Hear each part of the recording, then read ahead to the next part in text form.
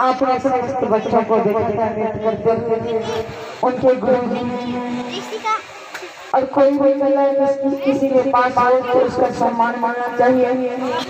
कितना गुरु सम्मान कर रही है।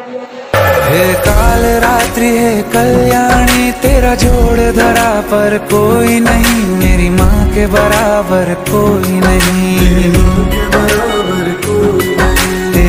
तेरी से जो गहरा हो, ऐसा तो सागर कोई नहीं। मेरी माँ के बराबर कोई नहीं।